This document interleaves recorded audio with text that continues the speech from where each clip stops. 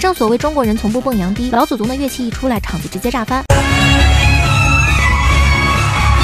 民乐配上佤族民歌，这大圣打碟、天庭蹦迪的场面，我居然天真的以为古人的夜生活很枯燥。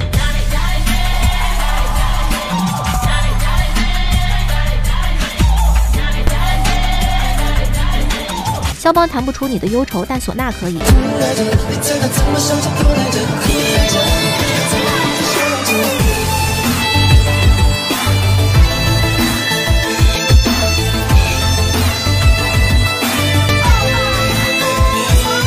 二胡一响，才知道什么是震撼。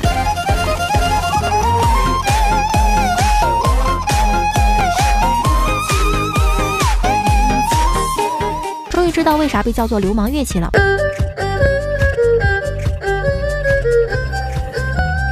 二胡竟然也可以说唱。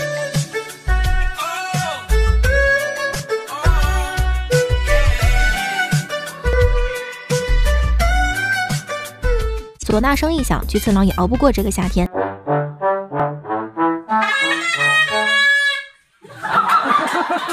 学乐器的学生凌晨在田间练习，这场面着实有点瘆人。这是来炸场子的吗？鸡皮疙瘩都起来了。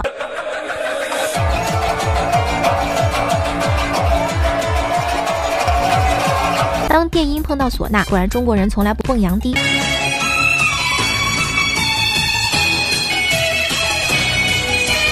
老祖宗留下来的东西真是名不虚传。